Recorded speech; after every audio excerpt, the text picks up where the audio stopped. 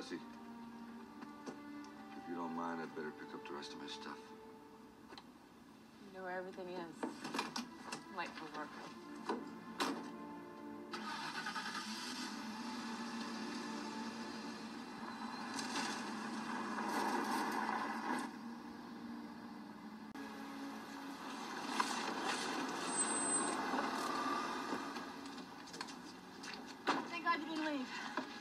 Why? Bruce got an emergency call at five climbers just ran off Combe Bluff. The weather